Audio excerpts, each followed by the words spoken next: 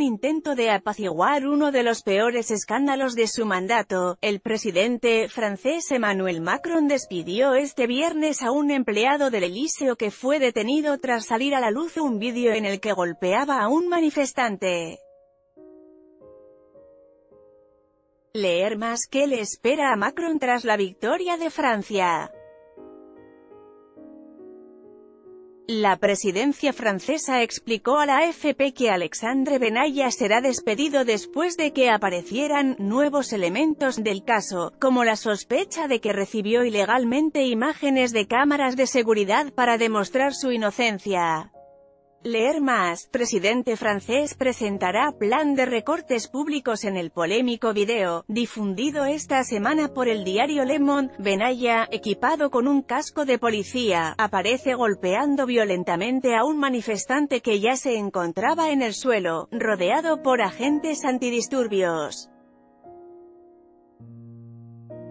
Está acusado de actos de violencia en reunión por parte de una persona encargada de una misión de servicio público, usurpación de cargo y uso ilegal de insignias reservadas a la autoridad pública, y complicidad en el desvío de imágenes de cámaras de vigilancia. Foto, AFP En el marco de esta investigación, tres policías fueron suspendidos de forma cautelar por haber extraído imágenes de cámaras de seguridad y haberlas transmitido a Benaya, según una fuente cercana al caso.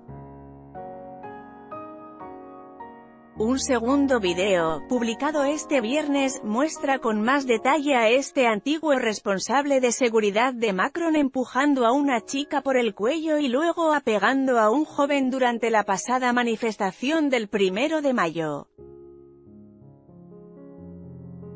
Benaya, que dispone de un despacho en el Elíseo, fue el responsable de la seguridad de Macron durante la campaña presidencial, antes de ser nombrado responsable de misión en el Elíseo. La crisis más grave, foto, AFP La polémica no cesa de crecer desde el miércoles por la noche, lo que podría degenerar en un escándalo de Estado y acabar con la promesa de una «república ejemplar» que hizo Macron, cuyo silencio tras la revelación del caso es flagrante.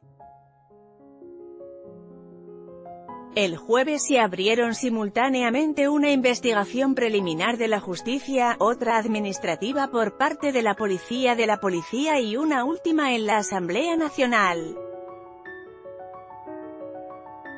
Es la crisis más grave a la que se enfrenta Emmanuel Macron desde el inicio de su quinquenio, en 2017, estima el diario Le Parisien. El Elíseo tuvo conocimiento de los hechos al día siguiente del incidente. En mayo, Benaya fue suspendido durante dos semanas y luego recuperó su trabajo, aunque fue trasladado a otro puesto para realizar tareas administrativas. Este viernes, varios periódicos criticaron al presidente francés por rechazar comentar el caso, pese a la insistencia de los periodistas durante una visita al suroeste de Francia el día anterior. Por no haber gestionado inmediatamente un problema disciplinario, Emmanuel Macron tiene que afrontar una crisis política, escribió en su editorial el diario conservador Le Figaro, una crítica inhabitual en sus páginas. Foto, AFP, y las revelaciones de Lemon, este caso habría quedado así, aplicando el viejo principio de que no hay mal hasta que te pillan, prosiguió. ¿Por qué hubo que esperar a que una web, Lemon, difundiera este video para que la justicia investigara el caso? Se interrogó por su parte el periódico La Croix. Las críticas también llegaron de los responsables políticos, se ha alcanzado el corazón del Estado. Tenemos que cesar inmediatamente nuestras tareas y el primer ministro tiene que venir a dar explicaciones ante la Asamblea Nacional, lanzó Christian Jacob, el líder de los diputados del LR, oposición de derecha. En esta nota, Francia difunde en video guardaespalda del presidente francés Emmanuel Macron Alexandre Benalla golpea a manifestante crisis política.